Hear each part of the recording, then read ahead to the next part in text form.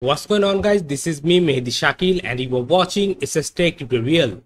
So guys in this video I'm gonna show you that how you can set up and run a virtual Android device in your Windows computer using the Android Studio. So without further ado let's get started.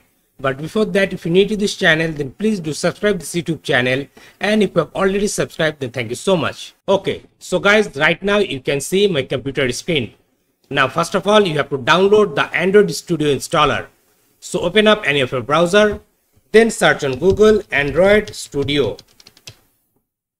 Then go to this link developer.android.com slash studio. Then click on this download button to download this Android Studio installer. I had already downloaded it, so I'm not going to download it again.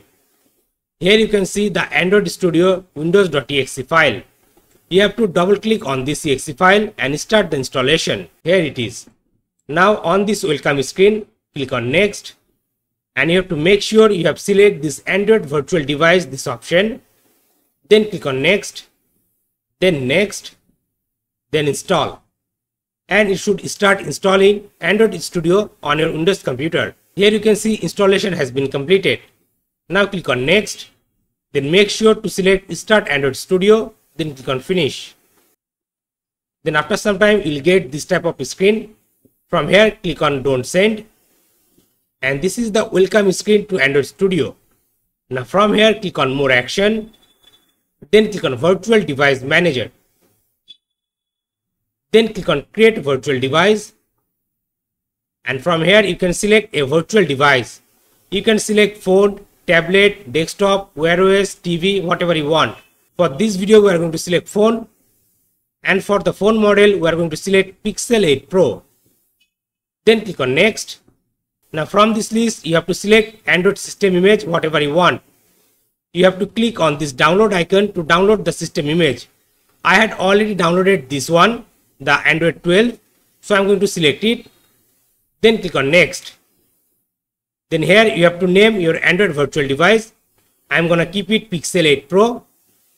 Then click on finish. Then to run this Android virtual device, click on this play icon and it should launch the emulator or your virtual Android device. It's gonna take some time to run completely, so you have to wait.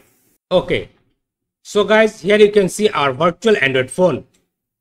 Like this, you can easily get and run a virtual Android device on your Windows computer using the Android Studio. So guys, that's all for today. I hope you like this video. If you really like this video and enjoyed this video, then please give it a big thumbs up and share this video your friends. And guys, if you're new to this channel, then please do subscribe this YouTube channel and don't forget to press the bell icon to get all the latest upcoming video tutorial notification. I'm Mehedi Shakeel, you're watching a Tutorial and I'm signing out.